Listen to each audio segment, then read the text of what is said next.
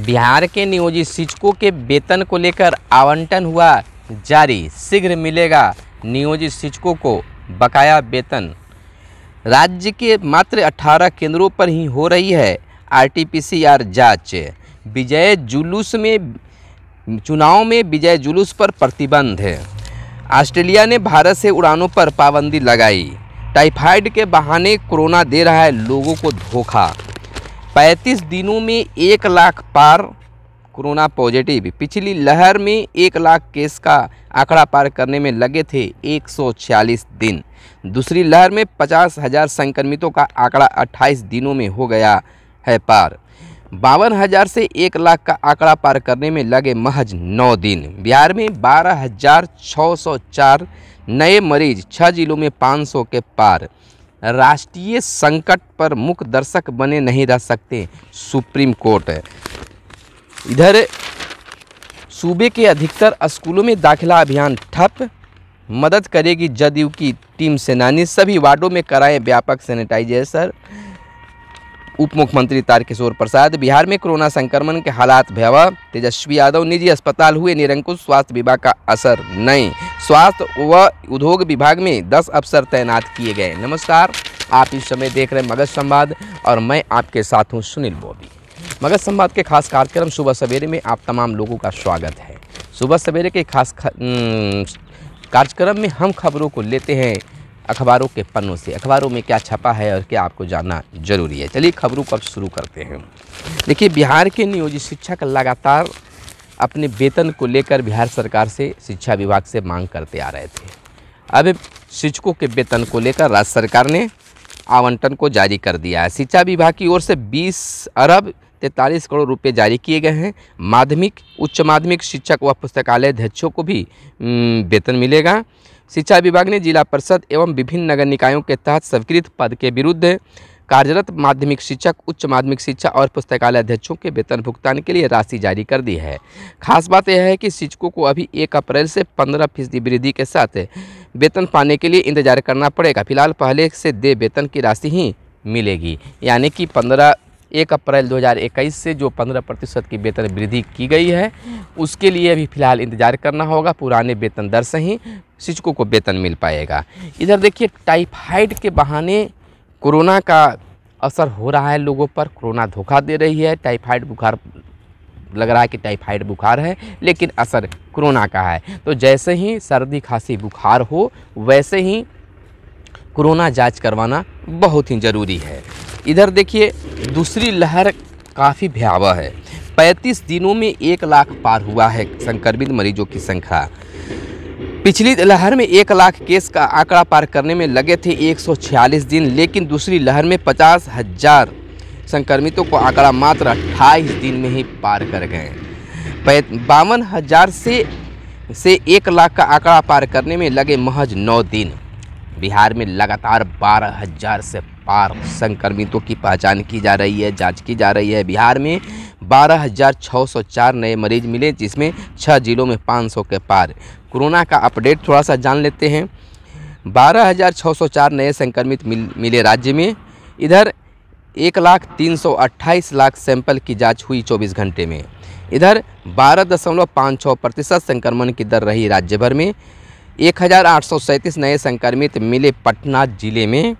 छियासी लोगों की मौत पिछले 24 घंटों में हुई है बिहार में। तो यह थी आज की आंकड़ा जिसमें बहुत सारे जिलों में भी स्थिति काफ़ी भयावह है। इधर सुप्रीम कोर्ट का एक बड़ा आदेश फैसला कर सकते हैं। राष्ट्रीय संकट पर मुख्य दर्शक बने नहीं रह सकते हैं। कहा जा रहा है सुप्रीम कोर्ट के द्वारा कि राष्ट्रीय संकट पर कोर्ट जो है मुख्य दर्शक नहीं बनकर रह सकता है। उस पर काम करें। वैक्सीन की कीमत पर केंद्र से जवाब मांगा। पीठ ने केंद्र सरकार से पूछा है कि कोविड वैक्सीन की कीमतें राज्य एवं केंद्र एवं निजी अस्पतालों के लिए अलग क्यों है। राज्य के मात्र 18 केंद्रों पर ही हो रही है आरटीपीसीआर की जाँच।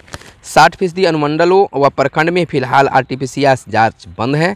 15 से बीस हज़ार सैंपल का बैकलॉन्ग इधर, ऑस्ट्रेलिया ने भारत से उड़ानों पर पाबंदी लगा दी है। संक्रमण में तेज वृद्धि के मद्देनज़र प्रधानमंत्री ने लिया बड़ा फैसला। कोरोना से जंग में सहायता के लिए पैकेज की घोषणा भी की गई है। इधर चुनाव में विजय जुलूस पर प्रतिबंध लगा दिया गया है। मद्रास हाईकोर्ट ने दिखाया था सख्त रुख। इधर ईसीएचएस में होगी अनुबंध की भर्तियाँ। रक्षा मंत्री राजनाथ सिंह ने मंगलवार को ईसीएचएस के तहत संचालित इक्यावन क्लिनिक में अतिरिक्त कर्मियों के अनुबंध आधार पर भर्ती को मंजूरी दे दी है।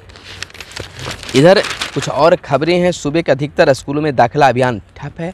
स्कूल बंद हैं, लेकिन शिक्षक स्कूल जा रहे हैं तैंतीस प्रतिशत के हिसाब से, लेकिन बच्चे स्कूल नहीं जा रहे हैं, जिसको लेकर अब दाखिला अभियान भी ठप पड़ गया है। सरकारी स्कूल में न अभिभावक ही पहुँच रहे हैं और न शिक्षक ही अनामांकित बच्चों को खोजने निकल पा रहे हैं।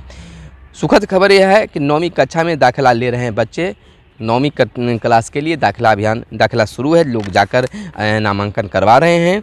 शिक्षा विभाग के द्वारा 26 तक सौंपनी थी। 6 साल के शत प्रतिशत बच्चों के नामांकन की रिपोर्ट शिक्षा विभाग के आदेश का पालन कई जिलों में नहीं हुआ है। अड़तीस जिलों में जिला शिक्षा पदाधिकारी से मांगी गई थी रिपोर्ट। तीन स्तरों पर प्राप्त करना था प्रमाण पत्र अस्सी हज़ार स्कूलों में चला था नामांकन अभियान। सभी वार्डों में कराए व्यापक सैनिटाइजेशन तारकिशोर प्रसाद उप मुख्यमंत्री पूर्णिया, भागलपुर, कोसी, सारण और तिरहुत प्रमंडलों के नगर परिषदों के कार्यों की होगी समीक्षा। निजी अस्पताल हुए निरंकुश, स्वास्थ्य विभाग का असर नहीं। कालाबाजारी रेमडेसिवियर लाने को मजबूर कर रहे हैं। ड्रग कंट्रोलर को लेकर विभाग के अधिकारी तक साधे हैं चुप्पी। चौदह हज़ार रेमडेसिवियर दवा आ गई है राज्य में, लेकिन मिल नहीं रही है। कोरोना में बिहार में कोरोना संक्रमण का हालात भयावह है। तेजस्वी यादव का कहना है कि कोरोना का जो स्थिति है वो काफ़ी भयावह है। बिहार में वैसे भी सचमुच में स्थिति पूरे देश में भयावह है, राज्य में भी भयावह है। बिहटा ईएसआई अस्पताल की स्थिति ज़्यादा खराब, पप्पू यादव का आरोप है। कल पप्पू यादव के द्वारा रेड किया गया वहाँ पर और स्थिति को देखा गया। कोरोना कंट्रोल रूम का किया गया मुआयना, स्वास्थ्य व उद्योग विभाग में 10 अफसर तैनात किए गए हैं। टीकाकरण में आधार बना रोड़ा। इधर सिर्फ़ आठ डॉक्टरों के भरोसे चल रही है सत्रह डिस्पेंसरी। ए पी का रिज़ल्ट घोषित। इस महामारी में काम आ सकते हैं इक्कीस हज़ार ग्रामीण चिकित्सक। ग्रामीण चिकित्सक ही कुछ काम आ सकते हैं, लेकिन कई जगहों से यह खबर आ रही है कि जो झोला छाप डॉक्टर हैं, वो मरीजों को कोरोना के नाम पर पैसे भी ठग रहे हैं। इधर औरंगाबाद से खबर है, जिसमें कहा गया है कि कोविड 19 की दूसरी लहर से संक्रमित लोगों को लगातार संख्या बढ़ रही है। सर्दी, खांसी और बुखार होने पर अवश्य जाँच कराएँ। कोरोना की दूसरी लहर से लोगों के लिए घातक साबित हो रही है। डॉक्टरों ने सर्दी, खांसी और बुखार होने की स्थिति में कोविड नाइन्टीन की जाँच अवश्य कराने की अपील भी की है। तो यह अपील हम लोगों को देखना चाहिए और इस पर कार्य करना चाहिए। तो इधर हम बताते हैं कि बिहार में पंचायत चुनाव को लेकर फ़िलहाल कोई खास अपडेट नहीं है, लेकिन निर्वाचन आयोग लगातार अपने कामों में लगा हुआ है। तो वीडियो में हमारे साथ बने रहिए। आज का खास जो था वो कोविड नाइन्टीन पंचायत चुनाव और कह सकते हैं कि बिहार के नियोजित शिक्षकों का जो वेतन है, वो अब मिल जाएगा। यानी कि पंद्रह दिन ऐसे भी लगने की संभावना है। सिगरेट पीने वालों के साथ रह, रहना खतरनाक है।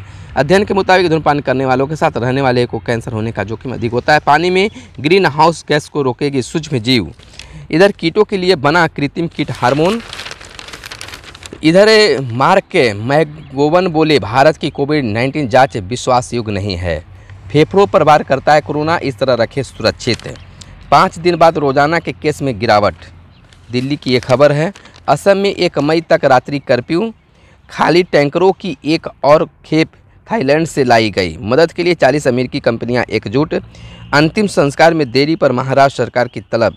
वेदांता को तूती कोरिन ऑक्सीजन संयंत्र का संचालन की मंजूरी। रक्षा मंत्री जी झारखंड के हमारे भाइयों का सौ घर भिजवाने में मदद करें, उत्तराखंड हादसा में कहा गया है। और थोड़ा सा हम ले लेते हैं क्रिकेट पर। सीएसके के सामने सनराइजेशन की परीक्षा। उम्मीद यह अच्छी शुरुआत होगी। यून, इधर बोर्ड का विदेशी खिलाड़ियों को सुरक्षित वापस का आश्वासन दिया गया है। कोरोना की मार में सभी को सुरक्षित रहना बहुत ज़रूरी है। देश में दो दशक के उच्चतर स्तर पर पहुँचना नकदी का चलन। तमाम चीज़ों पर इस इस प्रकार कोरोना का असर पड़ रहा है। कोरोना महामारी काफ़ी भयावह है, भयानक है। तमाम लोगों को सुरक्षित रहने की ज़रूरत है। तो घर में रहें, सुरक्षित रहें, बाहर ज़रूरी काम हो तो निकलें, मास्क लगा कर निकलें, दो गज की दूरी बना कर रहें, सैनिटाइज़र का प्रयोग करें, घर में साबुन का प्रयोग करें, तमाम चीज़ों से आप सुरक्षित रहें। तमाम दर्शक हमारे सुरक्षित रहें, हम सुरक्षित रहें, आप सुरक्षित रहें। चलिए इन्हीं शुभकामनाओं के साथ हमें दीजिए इजाज़त। धन्यवाद। जय हिंद, जय भारत। वंदे मातरम।